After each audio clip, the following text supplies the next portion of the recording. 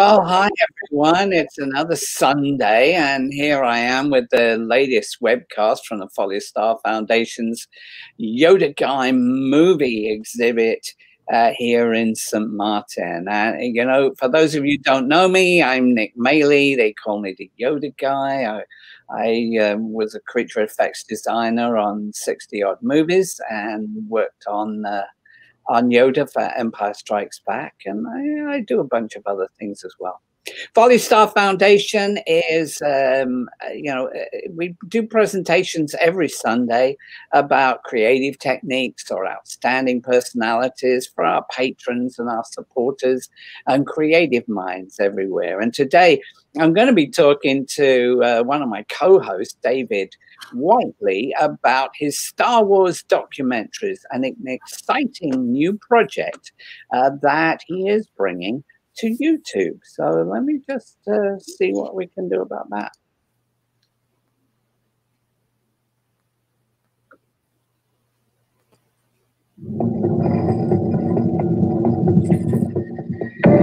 We tracked down the talent behind Star Wars and brought you the galaxy Britain built. We also brought you Toy Empire. But we wanted to do something more. I'm David Whiteley. I'm a fan like you. Hello there. So we decided to put all this together. Welcome to Star Wars Extra. You'll hear from the talent that brought the galaxy to life all those years ago. And the talent behind Star Wars today. I know I drove at least one of my coworkers crazy when I worked on uh, Moff Gideon. You are a whole family of Star Wars fans. We are. We've got mum, dad, it's your brother? Yep. Uncle to uh, Luke. Luke, it's not really his name, no, no. But when it ends, when it says directed by Gareth Edwards, it did feel like, yeah, okay, I can die now. And that's not all. Dedicated to the memory of Jeremy Bulloch, the original Mandalorian. My half brother, Jeremy, I'd never given him a part in any of these films. And so I said to him, Jeremy, I think I've got a part for you. He's a bounty hunter called Boba Fett. So while they were filming here at Elstree, you'd have the art directors nipping out of the studio doors, go and see the guys at Elstree Precision and say, Can you now make this? They come back, show George Lucas, say yes or no, and away they go. We'll see you soon on Star Wars Extra.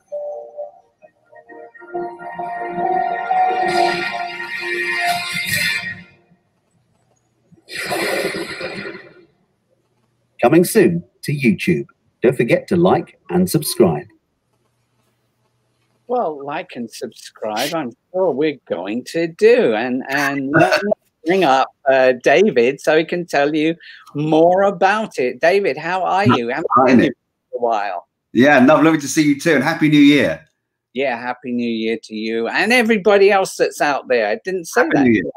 Yes, smack back of my legs. Anyway, um, so tell me about your new Star Wars extra. What's uh, going on with that? Well, I mean, you know, uh, many many years ago now, it feels like forever ago. We we created uh, the Galaxy Britain built, uh, and that's how I met you, Nick, and we became great friends. And um, yeah, and I was very privileged to become friends with you and everybody else who who uh, was in the documentary about the British the British people behind Star Wars, you know, the British talent behind Star Wars. Um, and uh, and then we made the, the, the the toy documentary, Toy Empire. A friend of mine suggested it as an idea, and then we went off and we made it. And I left the BBC at the end of last year. Um, the show I used to present um, came to an end, so I thought, well, I'm gonna. I set up my own production company, Galaxy Productions. Gratuitous plug there. Uh, and yeah. then I thought, as, a, as something else we, would be good fun to do, would be kind of do um, a YouTube channel, Star Wars Extra, uh, with some friends. We've, we've kind of put some stuff together.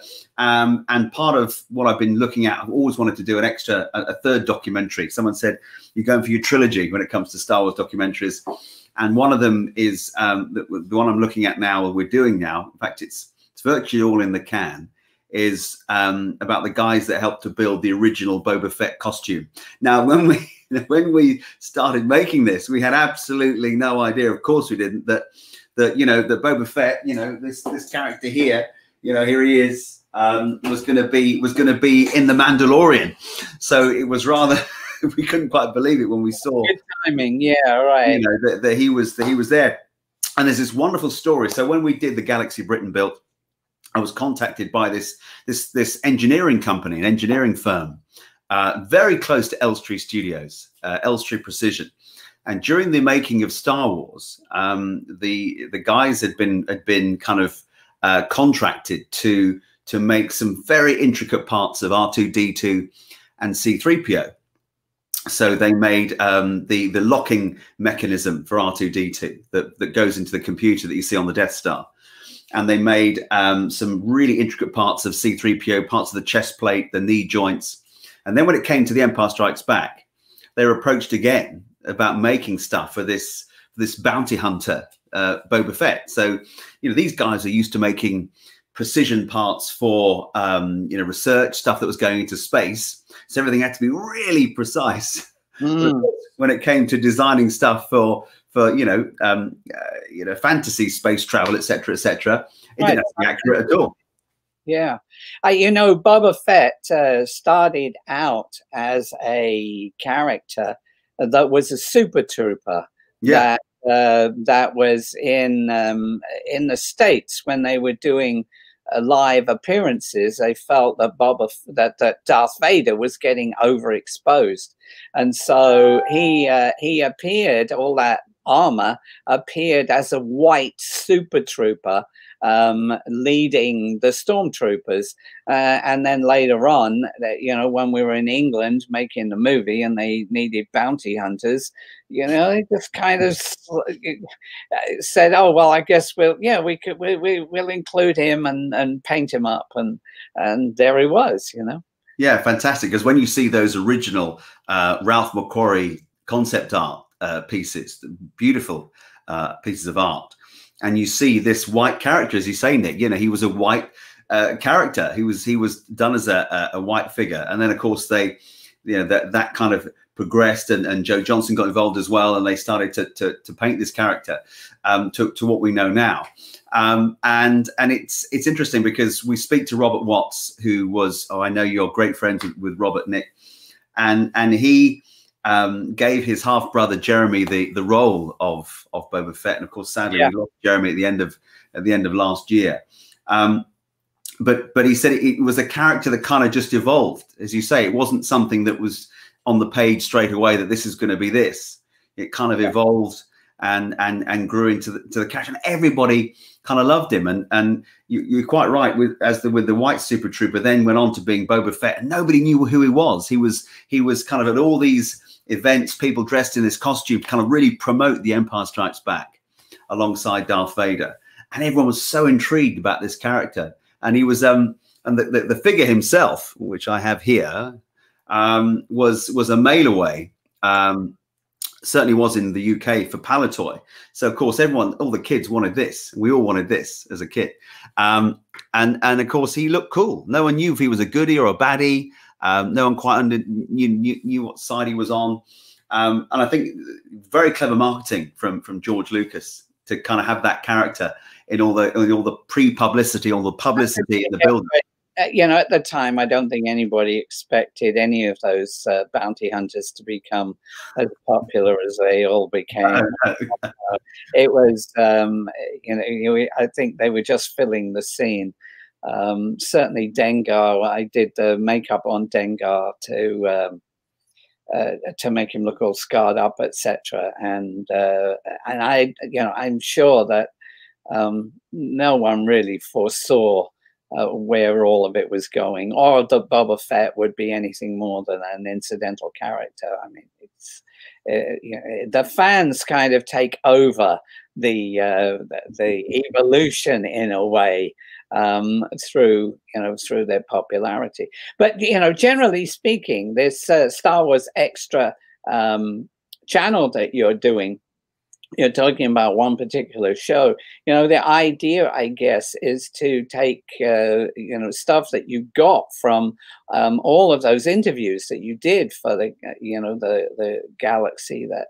Uh, Galaxy Britain built and uh, utilize that as Absolutely. a as a resource to um, to then make lots and lots of of um, of releases, all about the making of uh, the classic trilogy, I'm sure, from those interviews, but Mhm. also through the Folly Star Foundation, you know, you got access through me to um, all of those guys that were, uh, you know, that we were interviewing from.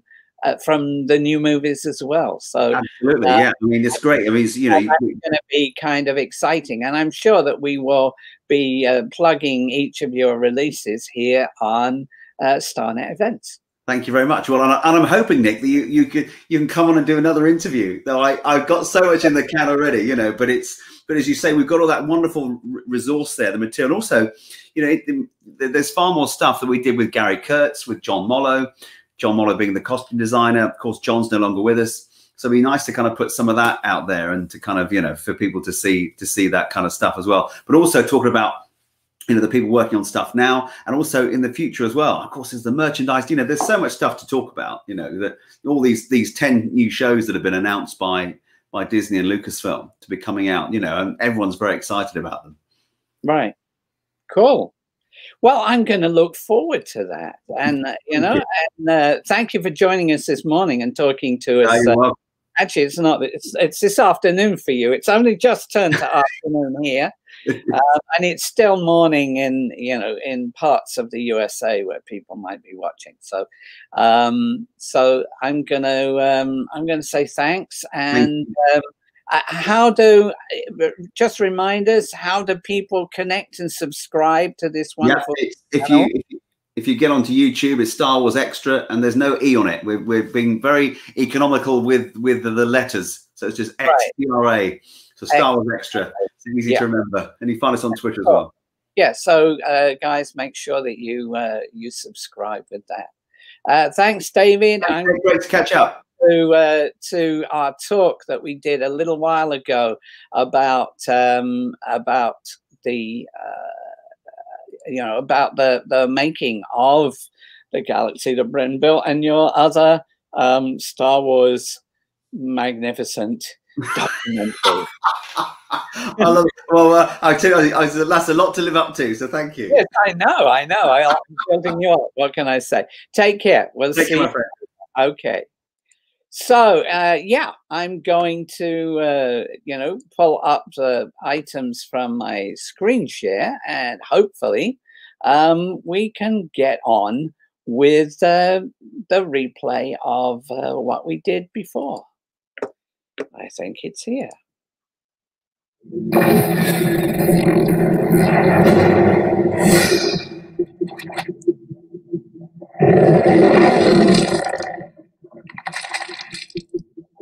Facebook. Um,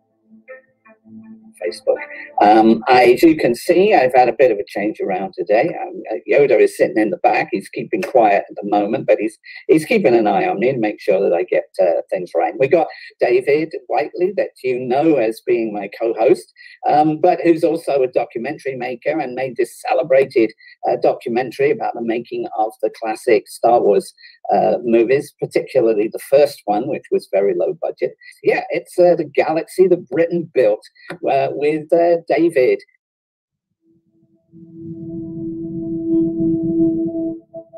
It's obvious, right? It's Star Wars. It's amazing. I would argue that it was the greatest leap from what was before to after. It changed, definitely changed popular cinema for you know more than anything else. It was kind of like this amazing thing.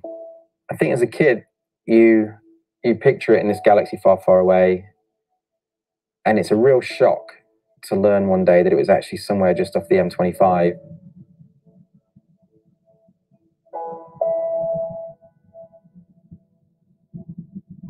It was just off the M25, and uh, here's David all about it. I didn't know you. Yeah, I'm good, David. How did uh, how did this documentary ever come about? Well, it's interesting, isn't it? Whenever I see that, that clip back of Gareth Edwards, who of course is the, the Rogue One director, um, I, I, look back at, at, at, how the whole thing kind of came about, really. And I also look when I see all the clips of everybody talking, yourself included in this. I remember the kind of painstaking job of going through all of the interviews, you know, several hours long, and uh, typing up all the all the notes and what everybody said. 120,000 words it was over over quite a long period of time. But I, I've been, I've always been a Star Wars fan. I was I was born on on May the fourth, 1977. So May the 4th, Star Wars Day. When did you realize that you were born on Star Wars Day? Because, you know, basically, uh, when you were born, no one called it that. Uh, I mean, uh, at what point did you say, I'm a Star Wars baby? Well, I, well for the documentary, probably, to kind of get as much publicity as possible. Yeah. Um, it was only kind of, you know, as, as, kind of the years wore on and everybody started going, May the 4th be with you. Um, mm. that, I, that I kind of cottoned onto the fact that I was like, very lucky to have been born on on May the 4th. But um, yeah, so so I was born at a time when I didn't see the first one in the cinema because I was I was just 21 days old when it came out in the States and it came out at Christmas uh, in 1977 in the UK. Um, and uh, but I always loved it. It was always part of my life. Um, the first one I saw at the cinema was uh, was Return of the Jedi in 1983. I remember that very vividly, going to see Star Wars with my father, Return of the Jedi, and I was such a big fan. Of course, the toys were everywhere. The toys were everything. Star Wars was everything. T-shirts and merchandise was really kind of taking off. Very shrewd George Lucas, who, who realised the merchandise was the way to get things done his way. Um, you know, and, and, I often think, you know, if uh, George wasn't a very competent um, film director, um, he should have got the Oscar for the best businessman. You know, oh, he pushed uh, the stuff. I, I, remember seeing something uh, written by um, uh, Charles Lippincott at one point, who was, as you know, was a, a, a, guy in the background who was going to all the colleges trying to raise interest and stuff. And he he uh, wrote that he was um, involved in negotiating in the states, I guess, the first of the um, of the of the merchandising um, deals with Marvel and uh, and with whoever was making the toys there, um, and um, and how George was upset with him because he didn't feel he'd done a good enough uh, a, a, good enough deal on that first movie. Of course, he made up for it on the second one. well, it did, and then some. Really, to be fair, yeah. I mean, Charles, Charles Lippincott was, as you say, he was doing all the underground stuff. He was he was getting into all these conventions and tapping into what was already there, this audience that he knew would would lap up Star Wars. So so when they had all the the preview screenings, um, they were they were they were busy. You know, they were they were really popular. Um, and and you know, for me, growing up in the UK, it was it was a big deal. But I, I don't really think that I kind of understood. Certainly, growing up, that that it was made in in the UK, made just outside of London. I think that you know we all think that it's you know Hollywood blockbuster and and and everything happens in Hollywood. And um, obviously George Lucas is American, and etc. etc. etc. But transpired, of course, that um, a great deal of it was made in the UK. Um, I still, get of, I still get a lot of people who come into the museum and look at me shocked. they know it was made in England. You know, they think I went yeah. rather than Hollywood came to England. And, and one has to give um, you know solid credit to the Americans who uh, who put together those ideas. An adaptation largely of um, of the technology from 2001: A Space Odyssey, but thrown together in a comic book style that captured more uh, more of a, of a solid audience than mm-hmm. the one that confused a lot of people. Um, and so I think um, I, I, you know it was. Uh, it, we have this term called pre-production, which sounds like everything before production, but actually pre-production is what is the time is applied to the time that we spend in the studio. Before that, there's all the concept time, which might be another three years of doing all these drawings and doing these other things, which uh, were all being done in the states by you know Ralph McQuarrie and uh, you know and um, and and others, and so um, it was very much a co-production. But as you as you pointed out so so perfectly in your documentary, which you know I will say this because you can't, but it's this documentary. People, you should try look try finding it. All right, it's not that hard to find. It's called the Galaxy the, Galaxy Britain built.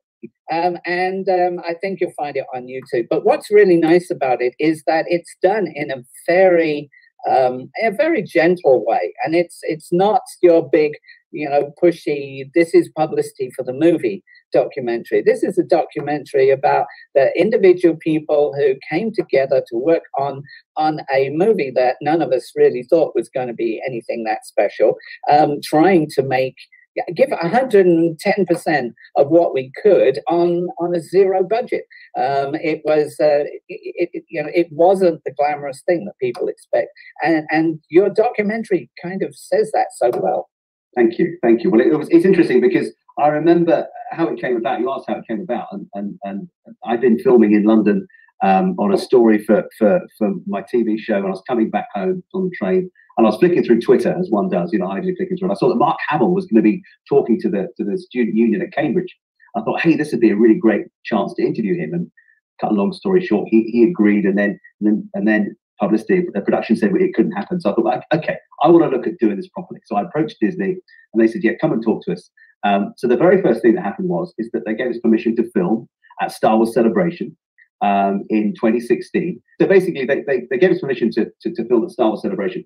And this, and I've always been, I've, I've been making films, uh, documentaries for a, a, long time, and I've always been of the opinion, certainly the way I like to work, is I'm very structured in the case of, you know, I don't film anything until I, I don't leave the office, don't leave the studios until I've got it all structured and I know exactly what I'm going to do.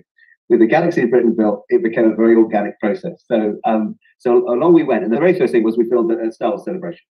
So here we are, you know, and and you know, I, I, was kind of getting a bit immersed in it really, and and not thinking what the things I should be should be filming.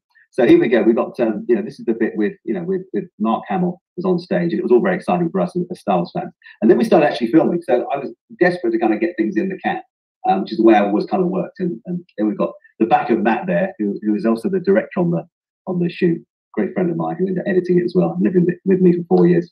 Mark, one of the camera guys there. Uh, and here we go. This was the very first interview that we did.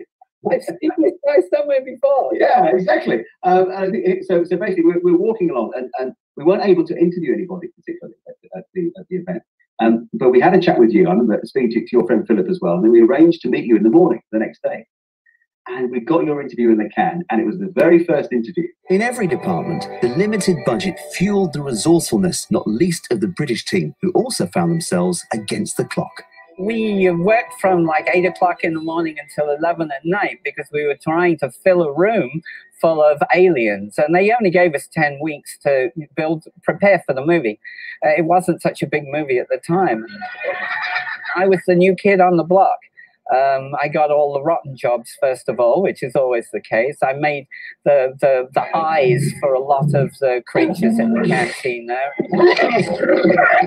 in, the room, there were like five, six of us. Uh, on one side of the room, we had all the mixers where we were foaming latex, so that filled the room with with ammonia. And on the other side of the room, we were painting the characters with toluene paint, and that filled the room as well. So we were probably all high at the time. You know?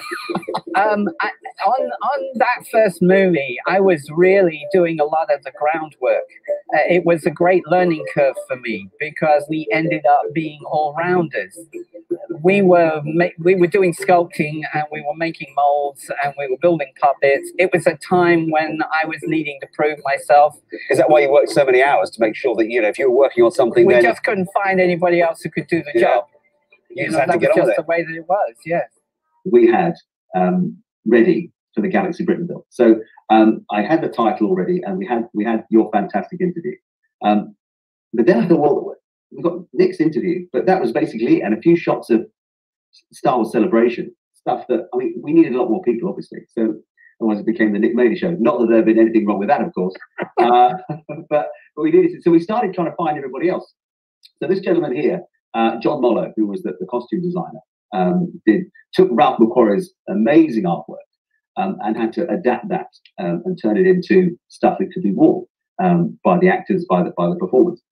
So I remember I had I had an address for him, and I wrote to the address. It was the wrong address because it said BBC on the envelope. It got forwarded on to his wife, and then Louise phoned me up one day and said she'd you know, her and John would be delighted to see us.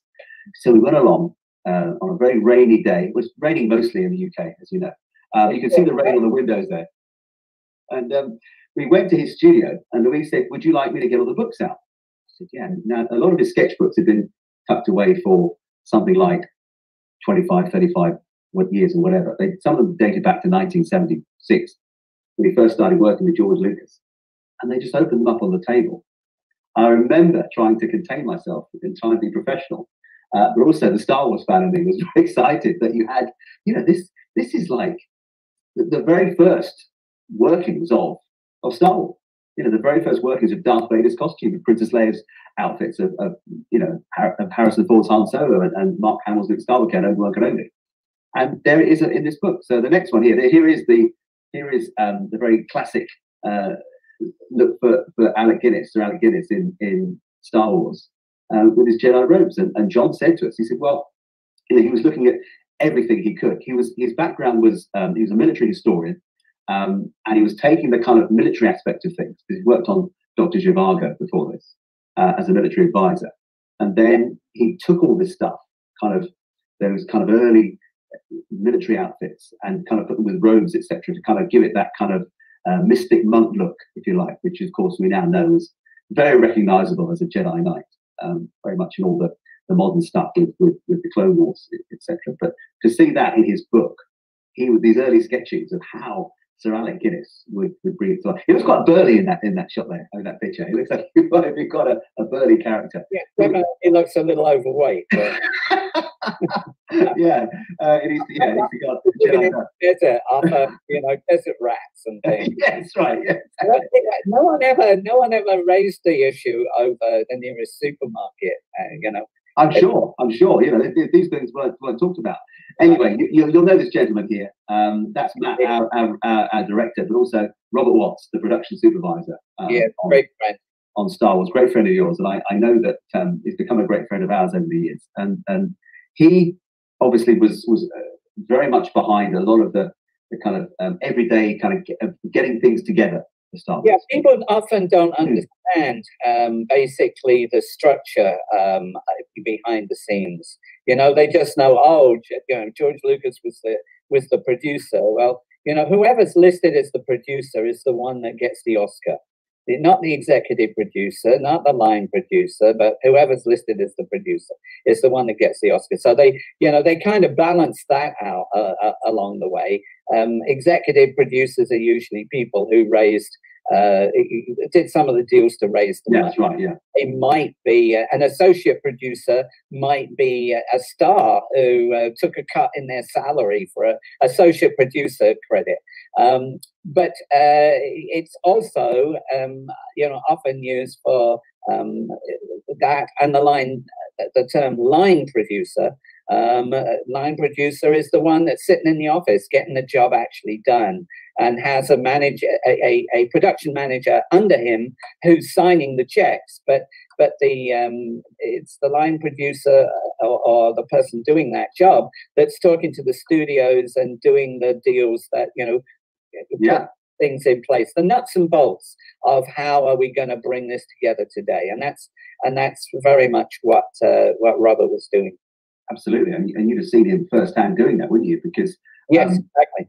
You know, and, and, seeing what he was what he was up against, as, as you know, Nick. You know, that the budget was was so small, and of course, it was this guy's job to kind of make that money go as far as possible. So he was doing everything he could to kind of make make the deals, wasn't he? Yeah, exactly.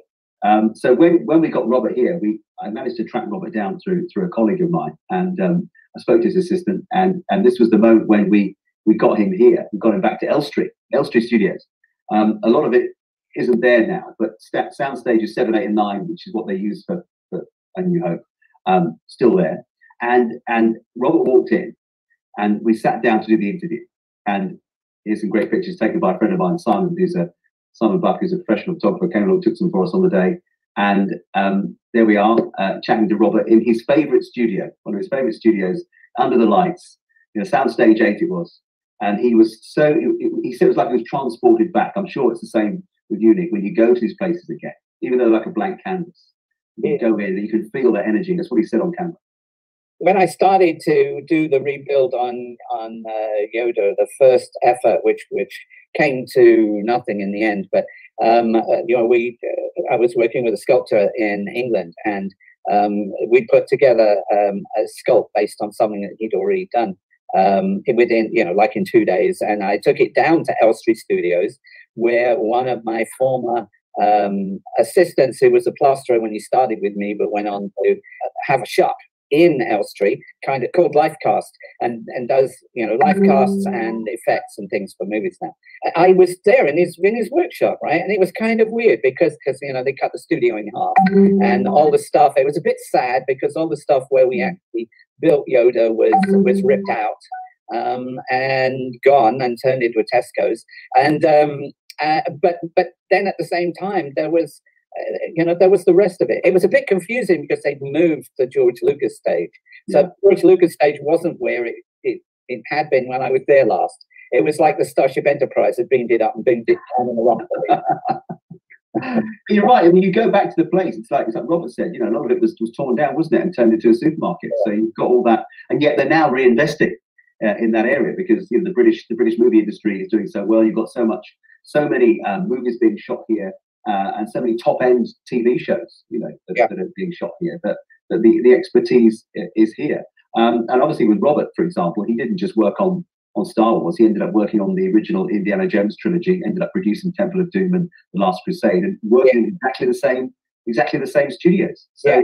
Um, picks of the most loved uh, movies, uh, certainly of that, right? Of all, of, certainly that era, yeah. And, and when we when we were kind of doing this, um, doing an interview, he said to me, "No one's ever interviewed me for as long as this." And it was only an hour, right? You know? and, and to me, that was you know I could have asked him more questions, but I thought what was very sad was that up until that point, no one had really kind of spoken to, to people like you. And, and well, let me tell another story, uh, um, if I may. You know, I was asked to first. The first convention I did was Star Wars Celebration Six in um, in Orlando, and uh, you know, it was all new to me. And I, you know, I went, I sat there at my table, and you know, there's all these people that are there, and most of them, I was something like 40 people doing autographs.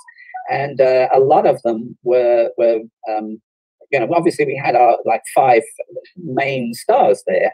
Um, but then there were quite a few who were you know background characters characters that had been you know just seen for a moment in the movie you know? And there is Robert Watson. I haven't seen him for years and years and years. And, uh, you know, I, I'm always going to treat uh, Robert with respect because, you know, as a line producer, as an associate producer on uh, on those other movies, uh, line producer, I think, on the first one, you know, he, he is the boss. He's, you know, one of those top-notch guys, you know, and people were queuing up. And I thought that was that was because they uh, they recognized, you know, the importance of the job that he'd done. And then I realized that they were they were queuing up because he'd done a little cameo for a moment with no lines driving an AT-AT, right? And so right, yeah. they all wanted the photograph of the AT-AT driver. Right? and that's so typical. I know, I know. It's interesting, isn't it? As you say, he had I think it was him. It was him and Richard Marquand, who was the director of Return of the Jedi. Yeah. And they, they both ended up being the, the scout walker drivers in, in, in that scene in, in Return of the Jedi.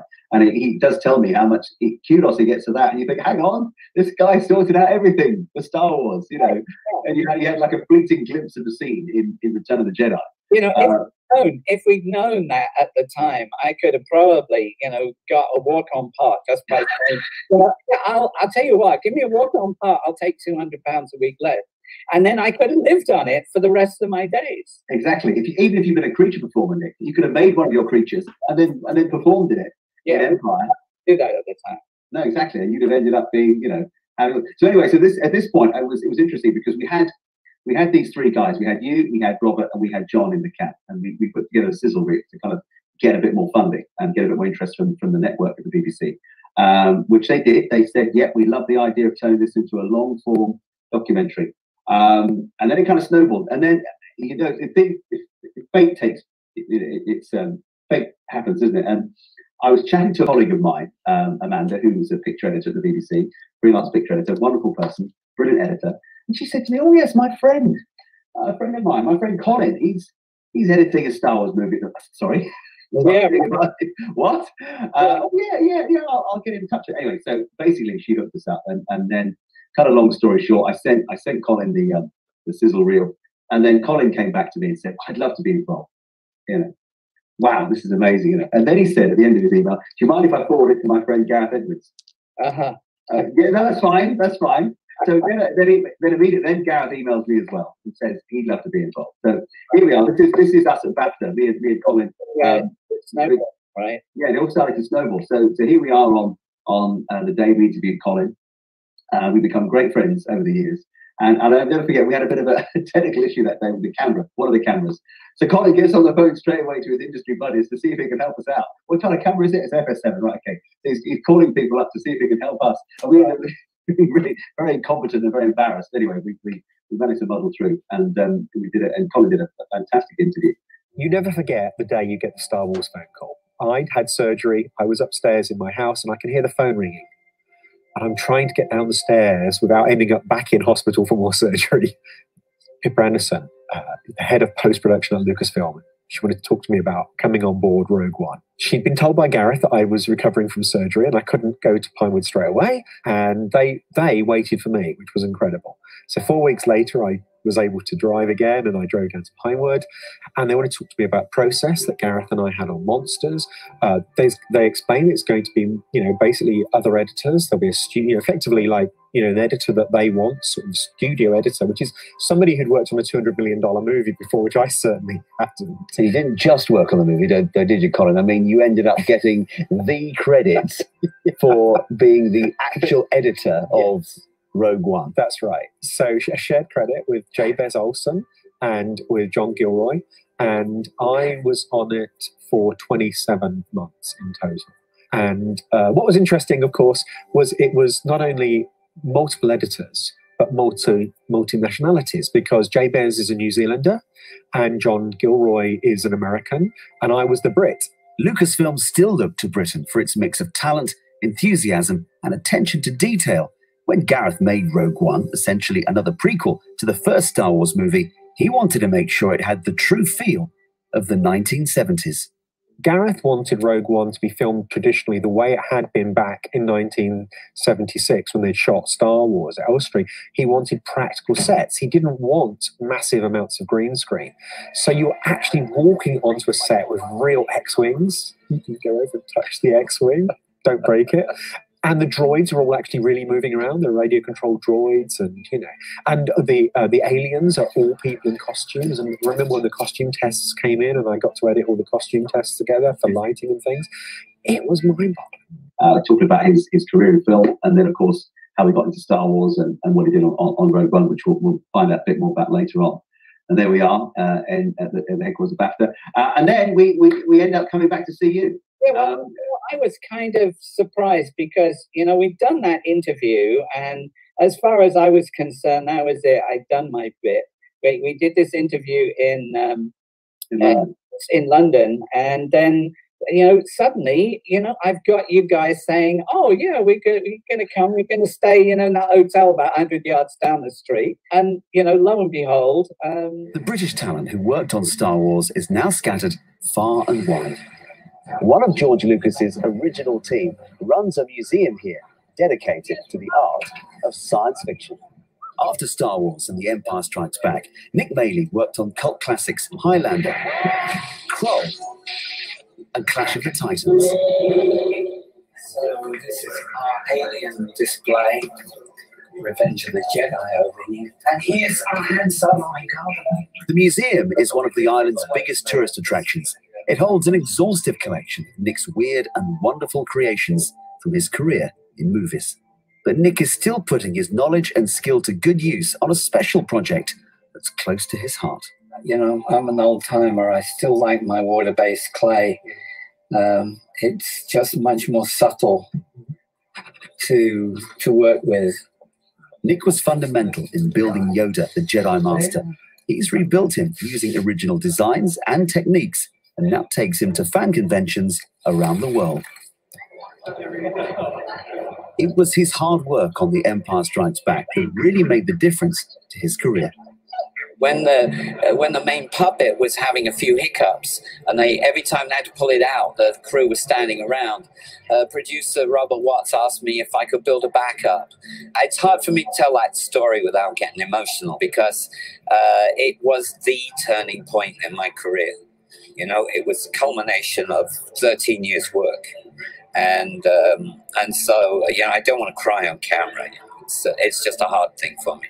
But yes, there was a moment when myself and, and Bob Keen, who was one of the trainees, 18 year old, the first day after we'd worked 60 hours in three days, slept on the floor, after we'd finished, we slept in the uh, in in the storeroom because we were too tired to drive home.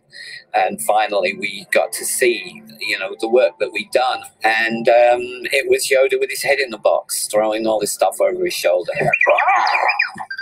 No! Hey, you could have broken this. Don't do that.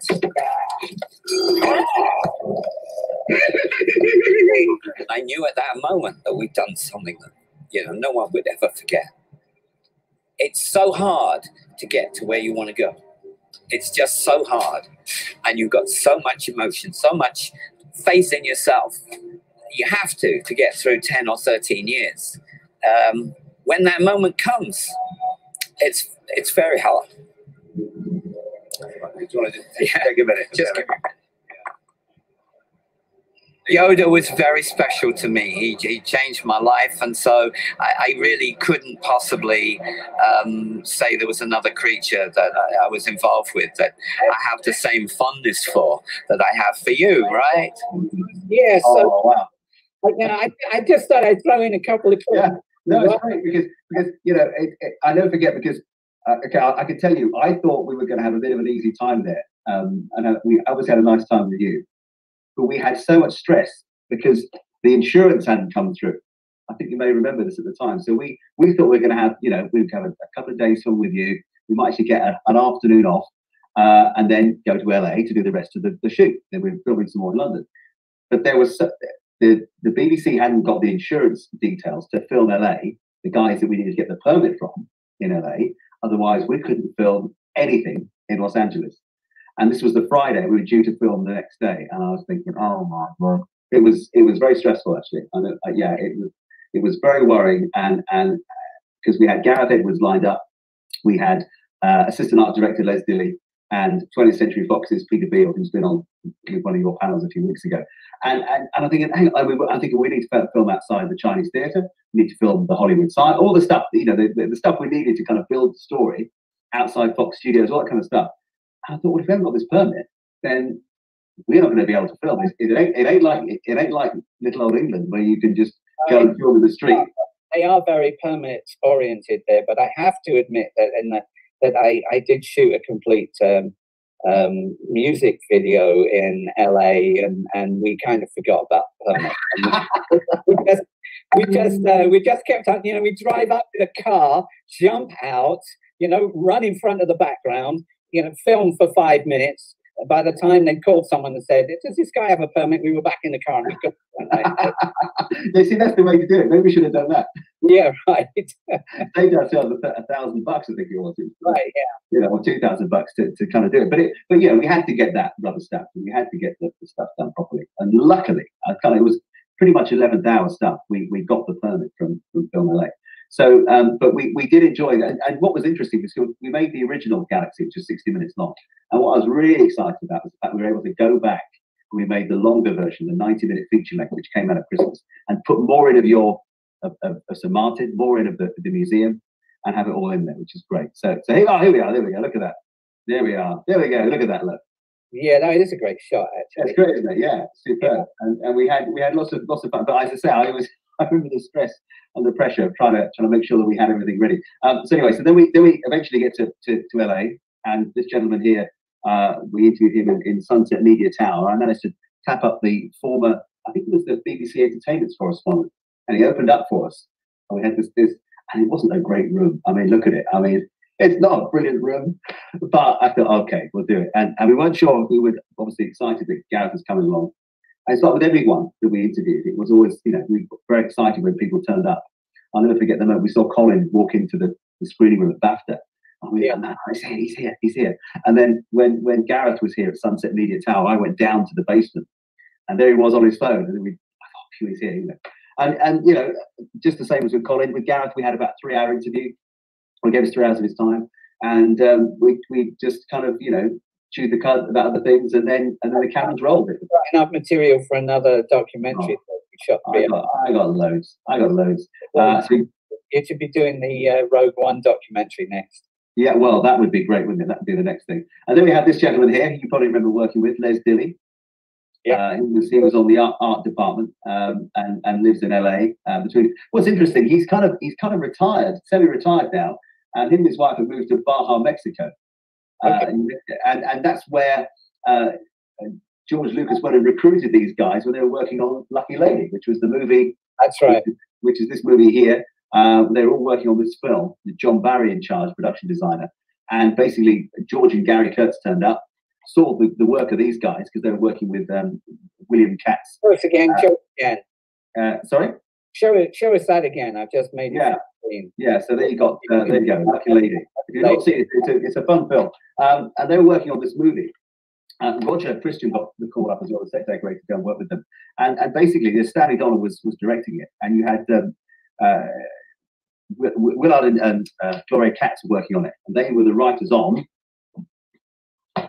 American Graffiti.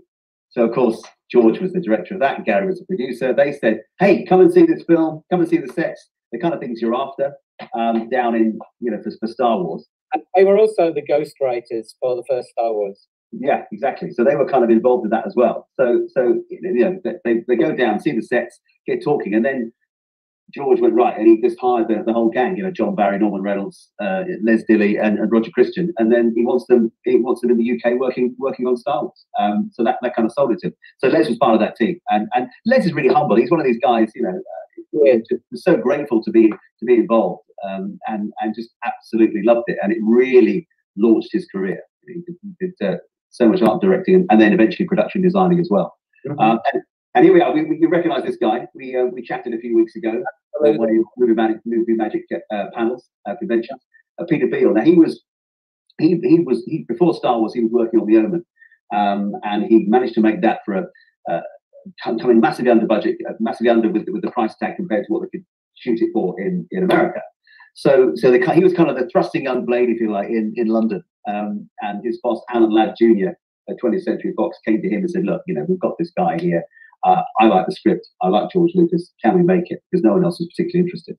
And Peter Beale said he went away and he looked at it and they broke it all down. And we worked with George and Gary, worked out how they were going to do it. Um, on I think the initial budget was four million dollars. Yeah, which, was- which was like a big thing. Yeah, I know it gradually crept up, but anyway, but this, we saw we saw Peter in, in his home in LA. In fact, he lived at this point very close to um, the Fox Tower, the Fox the Fox um, building that was the one used in Die Hard, and he now lives in uh, he now lives in Spain. And there we go. Look at this. Uh, here's a is that a cigarette lighter or is that a Yeah, exactly. I, in fact, um, uh, I've got that too. But one thing, the most important weapon of all, was proving elusive. I hadn't tackled the lightsaber, and we called it the laser sword because we were British. I knew this lightsaber was the Excalibur of this film. I knew it would be the iconic image. It was amazing. I went to um, Brunnings in Great Marlborough Street, who we rented all our photography equipment, anything we needed, and I'd buy equipment there. I just said to the owner, Do you have anything here that's unusual, stuff that might be interesting? And um, he pointed me over the side of the room. He said, There's a load of boxes under there. I've looked at those for years. Go and have a rummage through.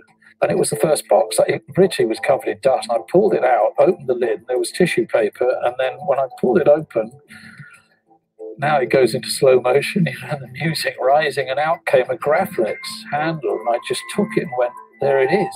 Brilliant. I loved it. This is the Holy Grail. And there was about five or six in there. We bought the lot. I raced back to the studios, got my T strip, stuck that round the handle. I stuck seven round it. From the calculator I'd be breaking down, there was a bubble strip that illuminated the numbers and they would magnify. And it just fitted into the clip. So I just cut it, stuck that in. I said, I think I found the lightsaber, George. He came over, just looked at it and smiled. I mean, that's that's the biggest approval you can get from George. He just smiled and held it. Yeah, exactly. Um, extraordinary stuff, and that's so typical of of the way the whole movie was made. You know, um, obviously I'm I'm kind of associated uh, more with the Mos Eisley Cantina, but uh, the drink dispensers behind the Mos Eisley Cantina. Uh, in the Mos Eisley Cantina were were pieces out of a Rolls Royce engine that they'd stuck up and that they then later on reused to be uh, the head of IG88. So, I know it's crazy, isn't it? Which is now IG11 in in the Mandalorian. So that kind of that style that was yeah. depicted was was actually created. And this is the thing. I mean, I, I, I know you and I have had this conversation with on many occasions, Nick, and I've had this conversation with Robert on many occasions. You know, you get people trying to work out why things that were the way they were. Is that was that planned? Well, nothing was really planned in that sense. It was kind of, you know, does that does that fit in the with the aesthetic of Star Wars? Yeah, is it there? And is it dirt cheap? If, it, if, it, if it's dirt cheap and it fits the aesthetic, that's it. It's in. It wasn't like let's you know design this. It was stuff that was already designed. Um, no, you know, today people pre-design things in a computer and, and 3D print them. Back in the day, you, you basically worked with what you could find Absolutely. and and made the bit that you couldn't, you know? Yeah, exactly. And and that was the mantra. And and I know that it's in the documentary, it's in my book, where you know Roger and Co would get in a plane, they'd fly to loads of different uh, airports around the UK airstrips and buy old aeroplane junk, and they'd ship it back to, to Elstree, break it all down, and they'd go right. What looks interesting? What can we use here that's gonna that can fill this area? Of the Millennium Falcon, you know, that was uh, it's a bit like. Um, uh, you know, the spaceships were largely lumps of plywood that had uh, Airfix kits stuck to them. Yeah, exactly, yeah, and then spray it with, the, with grey paint, you know, and make it look a bit knackered. Mm-hmm. Uh, and that was and that was the mantra, wasn't it? And, and, because I feel that that is really making the most of people's creativity. You know, as a um, yeah, through our foundation, you know, one of the things that I try to do is to get people and instead of just playing with things that someone else invented on their phone, to actually, you know, use their imagination. To uh, I say to little kids, you know, uh, when when you get a new fridge or a new TV, take the polystyrene packing and see what you can make out of it. You know, cut a bit out, make a foot, make a, make a mess. Yeah. make a mess. Yeah, that's okay because you know, glue two bits together. Hopefully, not your fingers, but uh, you know that. Uh, all of those things are things that fire creativity. They fire your imagination instead of you just sitting there going, uh, you know, pressing buttons that that are whatever someone else created. Exactly, and I think that's exactly. And I remember Roger saying to me that he was given, a, I think, a very small budget in comparison to what everyone had for the design team. Yeah, well, he, he said he made that for twelve quid. So you know. yeah, exactly. But he, but he, already, twelve quid is twelve pounds. So. Yeah, yeah, twelve pounds. Yeah, and and he, he he came in under budget with all the stuff he had to do. I remember him saying that he was he was really up against it. He'd got the blaster sorted out. Princess Leia's was a starting pistol. He had Han Solo's blaster, which was a Mauser with a with gun sight put on the top. You know, the, the stormtroopers' blasters were were Sterling submachine guns with short clips, and he put that T strip around there. But the lightsaber, I think it was very close to the wire. I think you guys, well, they were all about to ship out to Tunisia.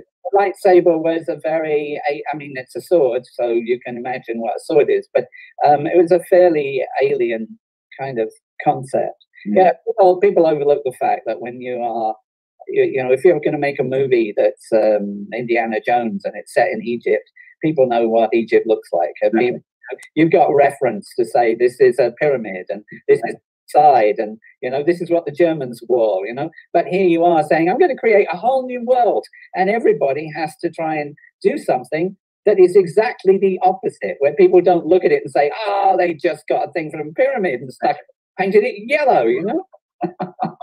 it's right. It's like yeah, they, it's like everybody had to collectively get inside George Lucas's brain and work out what he was thinking, and and almost kind of help him nudge things towards the right way as well. So it was kind of a collective thinking, wasn't it? Certainly with with the people that were were very were closest to him uh, through that. So here we are. Here we are. Where you you just shown the clip.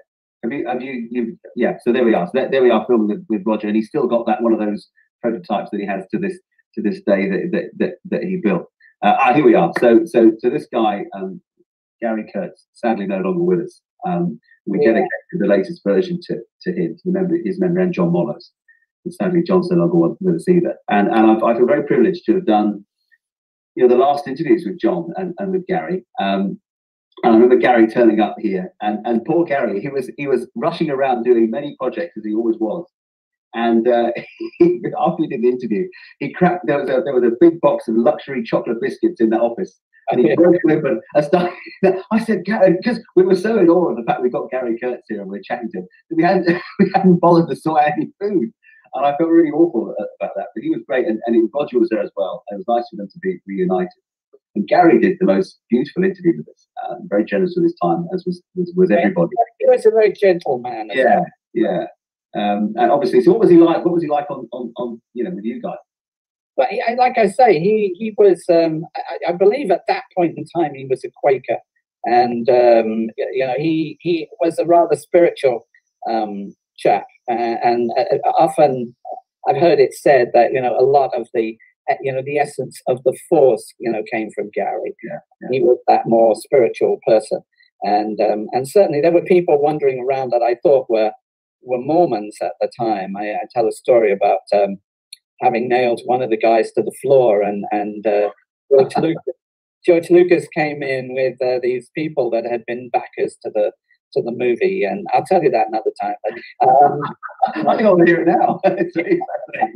yeah anyway you know he was just always a very gentle uh, uh, I, that's my memory of him a very gentle soul he used to come into a lot of the meetings where stuart was um, was deciding you know what yoda was going to look like and you know they'd go into into i wasn't a party to that i was i was in the main workshop but you know they'd go into uh, stuart's room and they'd be in there for an hour at a time uh, basically looking at where the sculpt was and, and and talking concepts. And then they go away for another 10 days before they came back and did it all again. So, um, yeah. but he, um, but that was my, that was my, I don't think he was really a, a hands-on producer. I think he was more of a, a raised money. I think maybe that it was, you know, the Quakers owned uh, IBM. So, uh, you know, I think it was more a matter of him putting, putting money together than actually running around making sure that, uh, you know, that the that the T trucks were there or anything.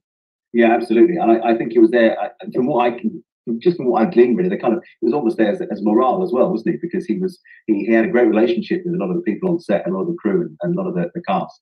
Um, you can see that with a lot of the photographs that you see from behind the scenes. And I'll never forget a very bizarre moment where we were we were editing the original version, and I was in the edit suite with Matt, and um, we found a load of photographs online that were that were his, and we we're phoning him up, and I phoned him up from my, my mobile phone. I said, uh, hi, Gary. Uh. Uh, I said, um, any, he always asked how the edit was going, how the film was going. And I said, um, is there any chance we could use, he said, any pictures you find of mine, you can use. Yeah. And that was the generosity of the guy. And and I, I thanked him. And then I got the phone and I said, You didn't realize I just phoned the producer of Star Wars. He just said, Yeah, help, help yourselves. You know, he was so kind yeah. and generous. And you say a very gentle soul um, and just a, just a very nice guy, um, and, and couldn't do enough for you. Um, and as I say, he, you know, wonderful guy, and, very sad he's, he's, no longer with us. As I I feel very privileged to have been able to, to kind of get his stories and make it part of part of the documentary. Surely. Now you may recognise this place. Uh, you know, it's it's um, Cardington, Cardington now Cardington Studios uh, in Bedfordshire, in the middle of England.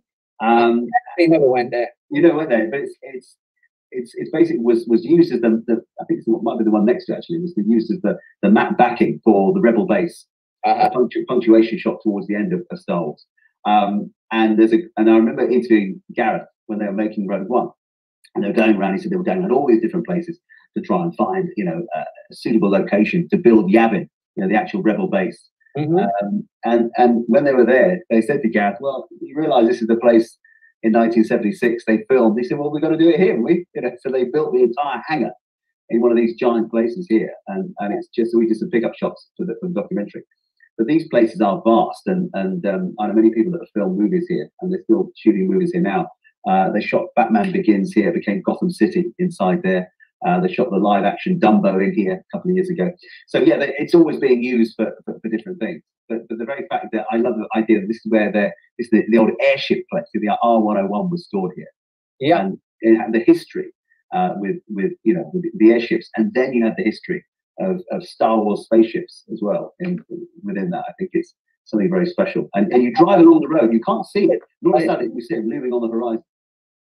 Yeah, there, there are so many of those studios. I mean, people don't think about Denham Studio anymore. Yeah. It, it, kind of got run down. But in the 30s, you know, everybody was there. Charles Laughton was there. Um, you know, all the big stars were making movies there, the history. People lose track of it, you know. Yeah. And people probably in Denham just drive by and, and don't even think about the place. and, and all that history. And I think um, isn't that where I think it's where John Williams with the LSO recorded the very first score for Star Wars was Denham. I don't know. Um, then and then it was then it reverted to, to Abbey Road after that when Denham closed down. So the very first one was was Denham Studios. Um, now this Galaxy Britain built went out in 2017. We went back, so we kind of decided to make it bigger and longer and better and the kind of version that we want to make. A bit like George Lucas, I suppose, without any money at all. So we kind of went. We, we found some more people to put in the documentary, and we spoke to this fantastic lady, Anne Skinner. Now Anne was the continuity person on on Star Wars, and she was there for every single take of every single scene shot in Tunisia and, and in Elstree. Not the pickups in, in, in LA, but all the stuff shot in Tunisia and, and in Britain. And so she was there for every single thing. And there's a great line. I don't know whether you've got the clip or not, Nick, but I've managed to put it together. But we- no, that, that the, so Lucasfilm gave us permission to film um, her continuity Polaroids for this for the extended edition of Galaxy. Um, and also her annotated scripts, all of her notes on all of her scripts that she wrote during the filming. Um, and and a very modest person. She went on to become a producer. She worked with Richard Attenborough for many, many years. Um, and she, the, the scene where Sir Alec Guinness is struggling, he was apparently he was struggling to kind of get to grips with the uh, the speech when he which he gives to Luke about you know, the power of the Force and you know like the dialogue at all. no, he found it. Yeah, he said that, and, and we, we found an interview that was on the BBC, which we shoved into the doc, Uh-huh. um, uh, which which shows him saying he, he actually was intrigued by the story. He liked the idea of working with George Lucas. Uh, obviously, he got a percentage, which he did very well from. Um, but he also um, was struggling with this, and and Anne went to George and said, "Look, Alec is struggling with this a bit. Uh, he, he can get it, but he, but can we re, re, we rewrite it?" And George said yes. So they rewrote it, and in her pen, so in her on her script, in her pencil writing is is how they rewrote the whole the whole scene, Right. um, explaining to Luke the, the, the, what the force is. Um, and and George looked at it and went, "Yeah, that's great." And but to Anne, that was nothing. But of course, to us now, all these years later, as Star Wars fans, you go, "That's one of the most famous speeches of all time in movie history." Exactly. And I think she gave that script to BAFTA to uh, so- yeah. uh, for their for their archive. She did, yeah. Big art. Now, this is, I mentioned the um, the London Symphony Orchestra. Now, we also got a couple of guys who were the principals uh, on on uh, the original. Um, this is Robert Bourton. Now, he was the bassoonist. And this is him. And I couldn't I couldn't get the bit from the actual doc, but I thought I'd just use, use this bit.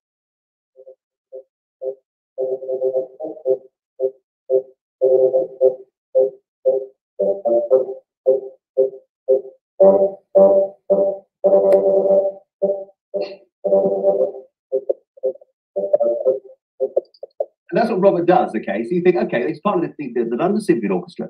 You know, John Williams is conducting. So when they got this and they turned the page and they realized what it was, they thought it's going to be very interesting. Yeah, coupled, coupled with this, the, the, the next guy on the on the slide here um, is uh, Denis Wick, who was uh, principal trombonist as well. So these guys, they said it was just the most wonderful few days working with, with John Williams. Um, and at the time, John Williams, uh, I mean, he he was he was doing um, good stuff with Steven Spielberg, um, Yeah. in the states. But really, you know, once again, we didn't know who John Williams was. I mean, he wasn't. You know, people didn't make a, as much of a fuss.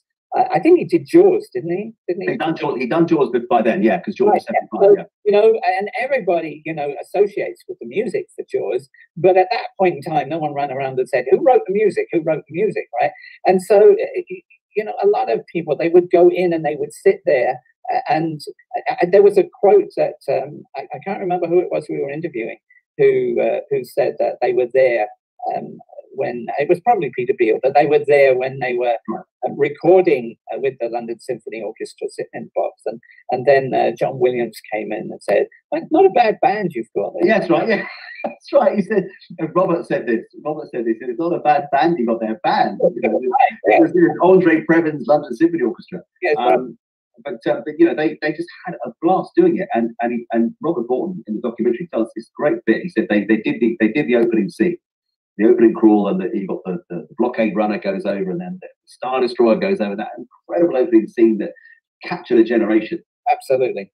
They recorded it, and then they they then turned around look at playback and look at the screen at the end and watch it all back, and they were completely blown away. And they said that at that point they knew they were going to be doing something that was very, very special. Yeah, because the orchestra is looking at their little piece of paper that tells what they're supposed to play. It's not until they turn around and they can see what the conductor is seeing on the screen where the movie is running, which he is conducting the music to match. I think a lot of people who don't make movies don't really understand that process either. You know, uh, he has to, John Williams has to write the music in the first place, you know, sitting somewhere, you know, based on, I don't know whether he has a small um, moviola, it would have been in those days, Yeah. he sit and watch the movie while he's writing the music. I mean, that's mind-boggling right there. But you know, but then you know he gets the orchestra and they are playing the the, the film on a big screen, which he is watching, which is behind the orchestra while he's conducting to time the music to match what's on the film. And it's not until the orchestra turns to watch the replay that they realize just how great what they've just done is. Yeah, it's it's incredible, isn't it? And you're right. He, he, and Denis said it in the documentary, the, the trombonist. He said he, it was incredible to watch how he fit that music to every part of that movie, um, which I which we all take for granted now. I think. I think we kind of take that, that for granted. And all the, all these different layers of, of, of filmmaking. But I have to be honest. I have to be honest. The, the movies that didn't have John, I, I felt the, I felt the lack of him. You know, uh, Star Wars without John Williams, I'm afraid, left me feeling, uh, you know, somewhat uh, disappointed. So, Well, I, I, I think that you know it's interesting. In our documentary, we found this wonderful um, archive uh, interview with, with Steven Spielberg talking about how coming, bringing those kind of classical scores back, making it popular again because it wasn't the, the done thing to do in the seventies. Um, but something with a, a space opera it required that that level of classical, you know, that classical score to kind of have that there. You know. yeah, you're right. It was. So, what else have we got on? So this uh, this is the last shot. This is me and the crew saying saying we're done. So in the middle is Matt, who directed and edited it. The, the guy, the camera guy, is a chap called Martin Giles, known as Beanie, and then you've got me. And that was our very last day. Anyway, then we move on to this. I'm going to do my gratuitous plug. Um, so so um, hey, give a give a good plug. I'm going to give it a plug. So basically, you said all these interviews we had. Well, we had lots and lots of interviews, and I and I, a couple of people said, well, why don't you write a book? And I've never written a book before, and I've been a, you know, I, I use the term journalist in the loosest possible term um, for 25 years, a broadcaster and filmmaker, and I and I write a lot, um, but I'd never written a book before. Um, so I went to one publisher, and they said, "Oh, we're not sure. Try this one in America." And I was very pleased that um, Bear Manor Media, uh, based in Florida, decided to take a punt on me, you know, being a first-time author. Um, so we turned we turned some of the documentary. I redid a lot of the interviews, um, interviewed a lot of people again, and got lots of photographs and put them in, um, which were given to me by by Robert and, and Les Dilley, their own pr- private collections. Uh, some of it is mind blowing. Um, so so the book is out at the moment. It came out in November, and it, but it came out at a time when I was working on the Galaxy Britain built and our Star Wars toy documentary, Toy Empire, and I didn't have time to think. I thought the book's out on Amazon, and I didn't quite realise it was out. Um, so we were we had this one big Star Wars night on BBC Four at Christmas, and I was everything had to be ready for that, and I hadn't really got a, had a chance to digest the fact that you know the book that my poor wife had proofread time and time again um, was was now out. Um, and anyway, this here, here's some of the pictures inside it that which are which are fascinating. I think here we've got a picture from, from Robert Watts, and then you've got uh, Ralph McQuarrie with George Lucas and the art director uh, Norman Reynolds. And I'd love to imagine being a fly on the wall in there. I mean, you were there, to be fair. you were down the corridor somewhere, you know. I wasn't. I was in another. I was in the in the studio, but I was in another room. You were getting hard ammonia at the time. Uh, that's one of my favourite quotes. Uh, and this is great because I was chatting to Robert about this, and, and John Barry's here. He was the production supervisor, uh, sorry, the, the, the production designer uh, on Star Wars. He was on Empire, and he and he had he, he got meningitis, and he, he passed away during the production of, of Empire Strikes Back. But um, here they are on a, on a recce for a potential location for the Empire Strikes Back on the equator in Kenya. Of course, that location was never used, so it'd be interesting to know what what that potentially could have been, or where that potentially could have been in the Star Wars universe. Um, back in that would have been probably 1979 or 1978. And this is one of my favorites. This is great. I love this picture. I went through a lot of stuff with Robert, and and um, during the heat wave in Britain in 1976, you've got you know Harrison Ford, Carrie Fisher, Mark Hamill, you know, all in the UK, um, away from home. And apparently, you know, Robert says that they, they hadn't had Yorkshire puddings and roast beef. So he said, come on over for Sunday lunch. So there they are in London. In the picture, you can see um, you've got Robert and his wife, Robert's assistant, Pat Carr. You've got Harrison looking cool at the back. You've got Anthony Daniels popping up. You've got Mark Hamill putting a funny face with a hat on. And I said, well, where's Carrie Fisher? He said, well, she took the picture, of course. Yeah. So they, they, all, they all had Sunday lunch together. And there's another picture of Carrie at the, at the, at, at, um, at the dinner table with them. And then afterwards, apparently, Mark uh, started a uh, started a water fight uh, with the kids in the garden because it was the heat wave. Like Mark, you know, Mark yeah. was a guy that was always uh, always amusing us. Uh, people think of Harrison Ford as as being, you know, the leader of the troop, but it, it really on the on the floor that wasn't the case. Carrie was always messing around. Um, and you weren't ever quite sure what to expect from her because she was a Hollywood princess, and uh, you know, and at, at 18, 19, you weren't going to be able to um, control her in any way. And so, uh, and and then Mark was the one that was always, you know, really funny. You know, he was always cracking jokes. Um, yeah, you can see that in the behind the scenes stuff, can't you? In all the behind the scenes footage that they're kind of still emerging now. You see that they all lark about together. But you can tell that Mark is is kind of the ringleader with the, with the kind of Jolly Japes, shall we say? Um, so here we are. So you mentioned Toy Empire. Um, so I went back to the BBC and said, look, I want to make a story a film. A friend of mine, Rick, came up to me and said, "Look, I really think that we should make a film uh, about um, Star Wars toys." Um, obviously, Kenner got the, the, license in America, got a very good deal with, with George Lucas, um, and Kenner needed a, a, sister company to make the toys for the UK. There are many toy manufacturers around the world making. You know, got the contract to make Star Wars toys. In the UK, it's Palitoy. Now, Palitoy were very successful. They're doing brilliantly with Action Man, which was GI Joe in America. Um, Tiny Tears, uh, dolls, and they had the mainline train line uh, toy range. And um, they got Star Wars, which was just absolutely incredible. So, what's interesting with this documentary, um, it's, it's 30 minutes, and it kind of, when you speak to the people involved with with um, getting the marketing done and the manufacturing done, it kind of parallels what George Lucas had to do to try and get things going. Because just as the movie world, the movie industry didn't want to know that George Lucas's script apart from Fox. Um, the retailers in the UK weren't interested in, in Star Wars. No, this was actually the, the core of what um, of the conversation yeah. that Charles Lippincott was having. He was saying that you know he could go to Marvel and say, "Oh, this is a new movie, and you really ought to make a, a you know a comic about this." And they'd say, "Well, yeah, but it's science fiction, and is it going to be a success? We've got all the production costs."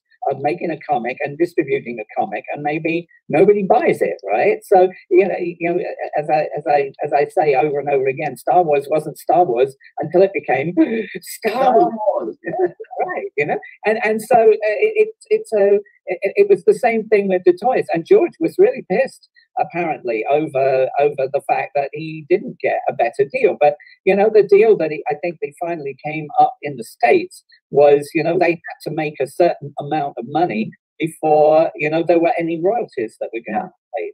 Um, of course, the second movie uh, really cashed in on all of that stuff, but this was that that first deal. Yeah, exactly. And um, obviously, the, the merchandise certainly helped with generating the funds for, for George to have more control um, with the with the Empire Strikes Back. Right. Um, but but what's interesting, as you say, you know, they, people weren't interested. So of course, in America, it came out in May May twenty fifth, nineteen seventy seven. It didn't hit the cinemas in the UK until December twenty seventh. So a huge gap. You wouldn't you wouldn't dream of that happening now. Huge gap in time. And also, there are only so many prints of the film, so it was rolled out very slowly across the UK. Of course, the major cities and areas were it first. Listed had made that movie. We heard about it being a big hit, which was a bit of a really. You know, you know it's like uh, oh, that, that kids movie that we made that's been a big hit. Okay, well, I, okay, you know, no problem. And so six months went by before we actually. It was Christmas, as I remember it, and and you know we all queued up uh, at long queue. I, I, you know, to set a queue outside in in uh, in, in, England in December. Oh, a great experience. And you know, I mean, there we are. We all go in, and I, we most of us we haven't seen each other for you know for a long, long while. and um, because even though you know you see these people, you work with them for for six months or a year, and then you don't see them for two years until they happen to be working on the same thing again. And and then you know, so it was a bit like a family reunion. Um, and then this movie opened with that amazing opening scene and the quadraphonic sound that none of us had had in a cinema before that made us think there was an earthquake in the, in the uh, you know in the lobby before uh, before the thing started. And you know, and there it was, and everybody in the in the theater, all the crew and their family, everybody stood up and and cheered. It was Wow. a, an extraordinary moment. Oh, what about what was it like for you then? Was it was it emotional seeing it when you saw it all back? It was it was uplifting, you know. It was uplifting, but you know, once again, I in those in, in that first movie, I was the new kid on the block. Still, I had uh, you know I, I had moved on from Star Wars was the cutting ground for me, uh, and then you know we went on to do a thing with Gene Roddenberry and and Superman one and two. So I was feeling more comfortable in my in my you know professional position um, than I was when I did the other. But I couldn't honestly turn around and say, "Oh yeah, you know, I." You know, I made that and I made that because you know I made the eyes out of this guy and this guy and this guy and you know I made the tasseled mohawk for for Greedo and oh I stuck all the warts on him. You know, I couldn't really lay claim to anything that specific in that movie, but it was just a thrill that this that we had made this movie that was it was going to change the way that movies were made and effectively was the was the Wizard of Oz of the seventies. Yeah, it was the catalyst, wasn't it? It was the catalyst that changed movie movie uh, the movie world forever. And and you know, people still want to make the next Star Wars. I mean, whatever that might be. Um, I don't think anybody's kind of come even close, really, apart from more Star Wars within that within that universe. Well, Um, youngsters who grow up with movies today, you know, Marvel and all of that stuff and Star Wars, they probably just see us being all the same thing. But uh, really, um, really, it's not. There hasn't been anything that has changed the way that the basis of movies are made. The the you know even Superman. Suddenly, we were running around with tons of blue screen in those days Yeah. lots of flying sequences and stuff that maybe they wouldn't have had the courage to do if we hadn't if we hadn't previously done uh, something else. I often I often say, you know, it's easy to build on what someone else has already done. Exactly. Uh, having the courage to do it the first time. Um, I, I have this analogy that I explain to young people. I say, if you go to the bank manager and you say them, want to open the first dry cleaning store that's ever been opened, they scratch their head and they say, I don't understand. What is it? Right? And say, well, it's a place where people take their clothes and uh, and they go through this process and they come out really clean. And they go, oh, you want to open a laundry? You go, no, no, it's not really a laundry. It's not like that. You know, it's kind of it's new and it's when they say, well, I don't know about this newfangled dry cleaning thing, but I'll give you money to open a laundry, right? Yeah, yeah, exactly. Yeah. soon as you've done it and everybody's made their claim on it, the next guy goes in, he says, I want to open a laundry. And they say, Have you seen that dry cleaning thing down the street? no. Yeah, exactly. Everyone, it, it's standing on the shoulders of giants, isn't it? Really, it's, it's the way it all works, and and and it's and it's the same with with the toys. You know, coming back to the toys, it was you know because up until this point, you didn't have figures this big. You know, you had everything was a big, you know, twelve inch doll, and yeah, yeah, yeah, and, and this and this was revolutionary. So you got you know here's the here's the production line, you know, in in Coalville in Leicestershire, middle of England. Um, they were flat out in the run up to Christmas because once the ball got rolling, of course, they were inundated. They were there was there's one scene in the in the documentary where the guy is trying to sell you know uh, sell the uh, the figures. He takes his he takes all his buyers to see the movie. He plonks down a bottle of whiskey in front of his main buyer, one of his best buyers, at the end of it, and he comes back and uh, he's drunk about a third to a half of the bottle in that time, having just watched the movie. And he said, uh, "Well then, Bob, how many? Um, you interested? How many figures would you like?" He said, "I'm going to take a million. so you bought a million, a million Star Wars figures straight away, having seen the movie, and, right? And having the foresight, going, "This is going to be a big hit, and we want a part of that." Um, so you know, and all these toys. I mean, I've still got my originals. You know, got the you know, got the the AT-AT there, you know, the Imperial Walker and and the Falcon um, in you know in this place. And when you go there, when we filmed there, it's still it's still a factory. They don't still make Star Wars toys, obviously. it closed down a long time ago. But just you can still see it, and, and there's a conference center, and all the guys remain friends who, who worked on, on on it together. And these are the kind of things that they would have to kind of get um, the retailers excited to whet their appetites, and they'd have these big advertising campaigns. But quite frankly, by the time Jedi came out, they didn't really need to do much. But I think that's what so that they found so sad. They thought that I think all did, didn't we, in 1983, that Star Wars would carry on. It didn't for a long time, and then of course had a resurgence with with the special editions and then the prequels and, and where we are today. Um, but yeah, it went off a cliff, didn't it? So there's a great story that isn't in the documentary. I, I haven't touched upon this, but when when everything fell apart in Leicestershire and and and come 1984, 1985, I remember as a child going to a place we go to Woolworths, um, and uh, you would you would get a bag of was it five or six five or six figures for 99 pence. So there's a tiny amount of money to to kind of um, uh, to, to spend to get some Star Wars figures. But then it really went off a cliff. And then at Leicestershire, at Coalville, um, where they were making the figures, they ended up putting a load in landfill.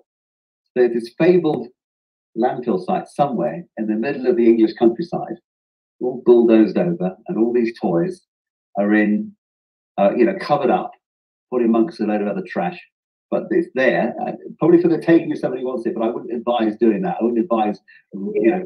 I have this image, you know, of people going to try and, you know, dig it out years, like like looking for David treasure or something. Yeah, exactly, exactly. Yeah. And trying to find all that stuff, you know. So so it kind of a, you know. Um, but we've got. To, I don't know if you can. Have you, have, I, have you still got the screen up? Is it still there? Is it? No, it's not on that. Yeah. Uh, oh, there, great. So basically, so I was turned into a toy, a part of the film, and and um, yeah, it's it's great that it's going to get a global audience.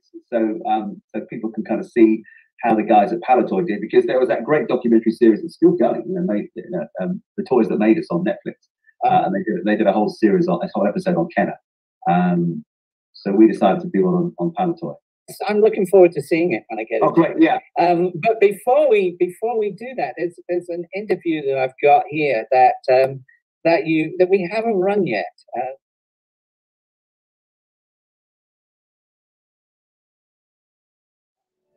I think, if I'm honest, if I was working on that movie and you read that screenplay and you didn't know George Lucas, you know, and you hadn't seen maybe the concept art, you might go, what the hell is this? Like, this sounds stupid. Like, it does. There is, in any other hands, it's a terrible movie, right? But in George Lucas's hands, and in the crew that came together around him, like, they made a masterpiece.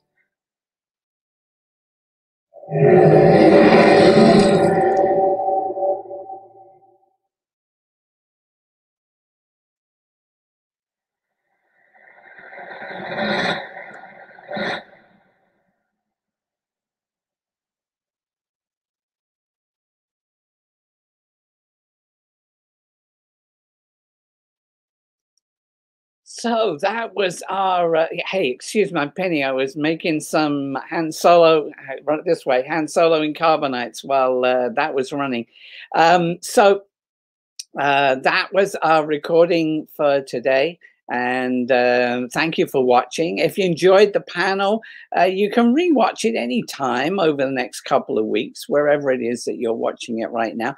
Um, you know, it's um, it, it, please consider if you enjoyed it, uh, becoming a Follow Your Star Foundation supporter because, um, you know, I think I'm, we're all hoping that COVID is going to die down and everything's going to pick up and that, that the vaccine is going to fix uh, everything. And, and I think that uh, it's going to have a significant impact. Got my fingers crossed for that.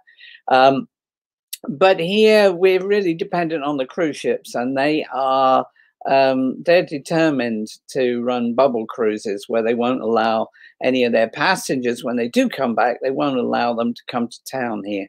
And so I think we're going to have to try and survive for at least another year um, before we can really get back to any sort of normalcy. So uh, remember, we're in the Caribbean where we rely entirely on tourists. So uh, really consider um, perhaps being uh, one of our uh, one of our patrons.